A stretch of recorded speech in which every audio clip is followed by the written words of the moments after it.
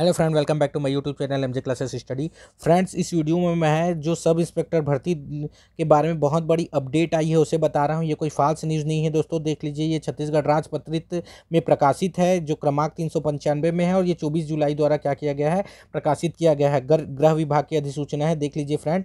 तो इसमें मैं आपको पूरा डिटेल्स बताऊँगा, फ़िज़िकल एक चीज़ आपको बता देता हूँ कि जो सब इंस्पेक्टर का फ़िज़िकल वो पूरी तरीके से चेंज हो चुका है फ्रेंड्स, वो पूरी तरीके से क्या हो गया है, सब इंस्पेक्टर का फ़िज़िकल जो है चेंज हो चुका है। अब तो चलिए इस वीडियो में पूरा मैं, पूरा हर चीज़ चेंज क्या क्या चेंज हुआ है ये भी बताता हूँ। हाइट कितनी लगेगी, उम्र का क्या अपडेट है, कितने पद बढ़ेंगे, क्या है, इस सब इस वीडियो के माध्यम से बताऊँगा। तो मेरा चैनल को सब्सक्राइब नहीं किया तो चैनल को सब्सक्राइब कर दीजिएगा। तो चलिए अपन आगे बढ़ते हैं। तो पहले इसमें सबसे पहले क्या है फ्रेंड्स तो सबसे पहले आपको क्या है, शारीरिक जो परीक्षण है उसके लिए बुलाया जाएगा। शारीरिक परीक्षण किसके लिए बुलाया जाएगा? देखिए, सामयिक माप के संबंध में किसी भी प्रकार की दशा में विवाद होगा तो मुख्य चिकित्सा अधिकारी का विनिश्चित अंतिम होगा, ठीक है?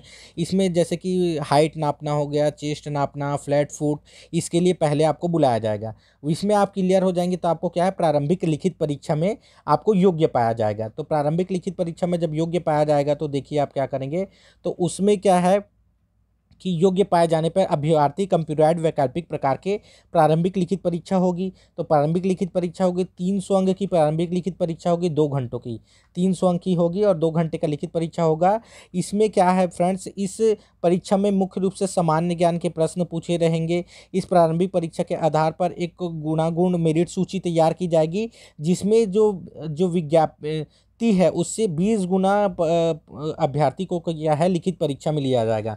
बीस गुना अभ्यर्थी को क्या है, लिखित परीक्षा में लिया जाएगा। मान लीजिए जैसे छः सौ पद है, एक एग्ज़ाम्पल बता रहा हूँ, क्योंकि पद बढ़ने की संभावना है तो बीस गुना अभ्यर्थी को लिया जाएगा तो कितना हो जाएगा, बारह हज़ार लोगों को लिया जाएगा। कितना? बारह हज़ार लोगों को लिया जाएगा, ठीक है फ्रेंड्स तो अब अब नेक्स्ट अपडेट मैं बताता हूँ, बीस गुना अभ्यर्थी को लिया जाएगा, अब उसके बाद आदमी मुख्य परीक्षा में जाएगा तो मुख्य परीक्षा में क्या होगा फ्रेंड्स तो मुख्य परीक्षा में दो सौ अंकों की मुख्य परीक्षा होगी तीन सौ अंक की तो पहले प्रारंभिक परीक्षा होगी। फिर उसके बाद पे मेरिट के आधार पर उससे किस, कितना बीस गुना अभ्यर्थी को लिया जाएगा। उसके बाद क्या होगा, दो सौ अंकों की मुख्य परीक्षा होगी और दो घंटे की अवधि होगी। कितनी, दो घंटे की अवधि होगी, जिसमें से हिंदी और अंग्रेज़ी भाषा में क्या होगा, दो सौ अंक का होगा, एक सौ पच्चीस नंबर का हिंदी होगा और अंग्रेज़ी नंबर का पचहत्तर अंक का होगा। ठीक है, उसके बाद क्या होगी सामान्य ज्ञान का पेपर होगा, सामान्य ज्ञान और अध्ययन का तो सामान्य ज्ञान अध्ययन का 200 नंबर का अंक होगा, जिसे तीन घंटे की अवधि दी जाएगी। 200 नंबर का होगा तो तीन घंटे की अवधि जाएगी। उसके बाद फ्रेंड्स अपट्यूटेड टेस्ट।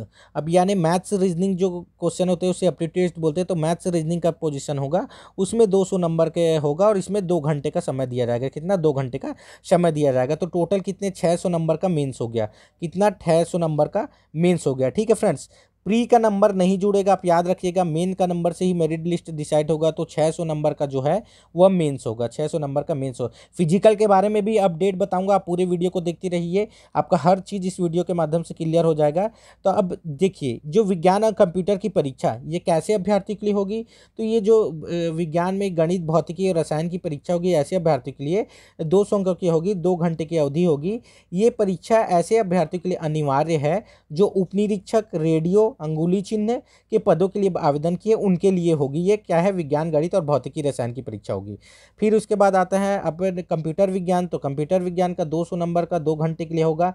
ये ऐसे उप निरीक्षक कंप्यूटर और उप निरीक्षक साइबर क्राइम के पदों के लिए होगा। तो उनके लिए यह होगा। ये सभी के लिए नहीं है फ्रेंड्स। जो उप यानी सब इंस्पेक्टर कंप्यूटर और सब इंस्पेक्टर साइबर क्राइम के लिए होगा। अब इसके बाद क्या है? देखिए, तीन पृथक सूची जारी किया जाएगा। पृथक चयन सूची कौन कौन सी? तीन पृथक चयन सूची जारी किया जाएगा।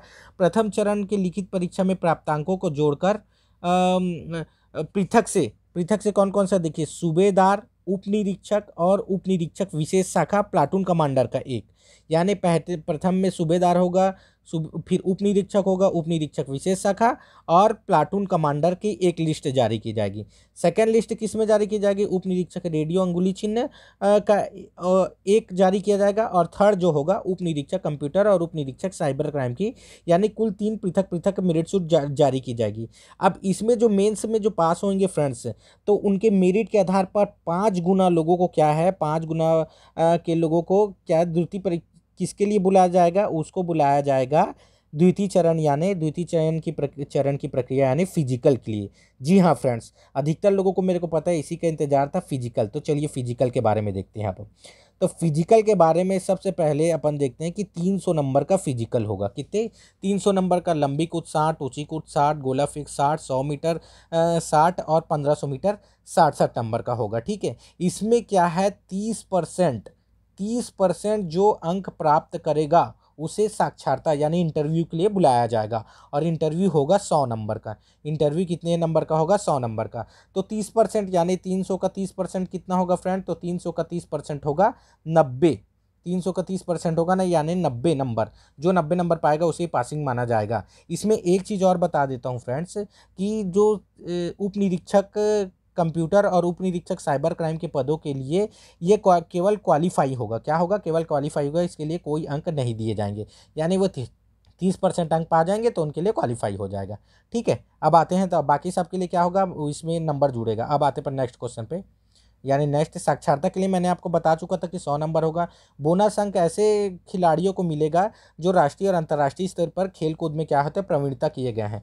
ठीक है? वही खिलाड़ी प्राप्त हो वही खिलाड़ी को दिया तो अब आयु का बताता हूँ फ्रेंड्स आप लोगों को कि आयु में क्या है कि आयु में देखिए, जो ओबीसी गैम जो गैर क्रिमिनल लेयर है, उनको अधिकतम पाँच वर्षों तक के शिथिलीन होगी। किसे?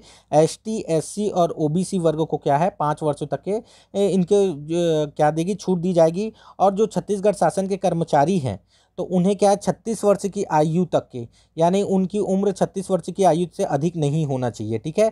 छत्तीस वर्ष की आयु से अधिक नहीं होना चाहिए। यदि वो छत्तीस वर्ष की आयु से अधिक होंगे तो उन्हें अपात्र माना जाएगा, ठीक है? तो ये उम्र से संबंधित था अब शारीरिक नापझोंक के बारे में देखते हैं, यानी शारीरिक आहारता तो शारीरिक आहारता के लिए सबसे पहले क्या है, आपकी हाइट जो है वो पुरुषों की एक सौ अड़सठ सेंटीमीटर या उससे अधिक होनी चाहिए।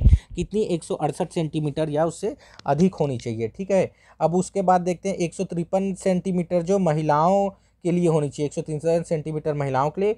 पुरुषों का सीना बिना फुलाए इक्यासी सेंटीमीटर होना चाहिए और फुलाने के बाद छियासी सेंटीमीटर, यानी पाँच सेंटीमीटर आपका सीना फूलना चाहिए, ठीक है फ्रेंड्स? अब अब तो ये शारीरिक आहारता थी। हाइट का मैंने बता दिया फ्लैट फ़ूड वगैरह सब आप जानते ही है दिग्विज्ञान नहीं होना चाहिए। तो कुछ जो महत्वपूर्ण महत्वपूर्ण है, इसी को बताऊँगा, मैं सबको बताऊँगा तो पूरा। अब मैं बताता हूँ आप लोगों को फ्रेंड्स जो फ़िज़िकल के बारे में। तो चलिए फ़िज़िकल में देखते हैं। मैंने लंबी कूद बताया था, यहाँ पर महत्वपूर्ण अपडेट क्या किया, तीन प्रयास दिया जा रहा है। तो तीन प्रयास दिया जाएगा। साठ नंबर का होगा हर इवेंट। इसमें क्या है, इसमें देखिए फ्रेंड्स कि अगर इसका आर में इसका पीडीएफ जो है पचपन पेज का है फ्रेंड्स। ये आप हमारे टेलीग्राम में आपको प्राप्त हो जाएगा पीडीएफ। और पीडीएफ के लिए क्या है फ्रेंड्स, आपने, मैंने डिस्क्रिप्शन पर टेलीग्राम लिंक दे दिया गया है। उसे आप जाके क्या बोलते हैं पीडीएफ प्राप्त कर सकते हैं। तो बारह फीट। देखिए, बारह फीट में ज़ीरो नंबर मिलेगा आपको। यानी मैं मीटर में बताते जाता हूँ दोस्तों, ये मीटर में दिया है, चार दशमलव सत्ताईस मीटर में बारह अंक मिलेगा। चार दशमलव अट्ठासी मीटर में चौबीस अंक मिलेगा, पाँच दशमलव एक आठ मीटर में छत्तीस अंक मिलेगा और पाँच दशमलव चार नौ मीटर में अड़तालीस अंक और पाँच दशमलव सात नौ मीटर या उससे अधिक में साठ नंबर मिलेगा। ठीक है फ्रेंड्स तो इसी प्रकार महिलाओं का भी है। मैं फीट में बता देता हूँ, आठ फीट, बारह फीट, तेरह फीट, चौदह फीट और पंद्रह फीट, सब में बारह बारह नंबर ऐड होते जाएगा। अब ऊँची कूद तो ऊँची कूद में क्या है फ्रेंड्स तो ये पूरे इवेंट है तो ऊँची कूद में क्या है कि सबसे पहले एक दशमलव सत्ताईस मीटर, दो सात मीटर में बारह अंक, एक दशमलव तीन दो मीटर में चौबीस अंक, एक दशमलव तीन सात मीटर में छत्तीस और एक दशमलव चार दो मीटर में अड़तालीस अंक और एक दशमलव चार सात मीटर में साठ अंक। तो ये हुआ, उसके बाद हो गया महिलाओं का कितना है? ज़ीरो दशमलव संतानवे मीटर में बारह है, एक दशमलव दो ज़ीरो दो मीटर में चौबीस है, एक दशमलव ज़ीरो सात में छत्तीस है और इसी तरह पूरे बारह बारह अंक वो होते जाएँगे। गोला फेंक में आप जा सकते हैं एक एक मीटर में बारह बारह अंक बढ़ते जाएगा दोस्तों। पाँच मीटर से स्टार्ट होगा बारह अंक में और नौ मीटर में साठ अंक मिलेगा। इसी तरह ये सोलह पाउंड का गोला होगा, या आठ पाउंड का गोला होगा। पाँच मीटर में आपको बारह है और नौ मीटर में साठ है। तो इसी प्रकार आप सौ मीटर की दौड़ तो सौ मीटर की दौड़ में आप फ्रेंड्स सौ मीटर की दौड़ में क्या है? बारह दशमलव पाँच सेकंड में साठ नंबर मिलेगा और महिलाओं को चौदह दशमलव पाँच सेकंड में साठ नंबर मिलेगा।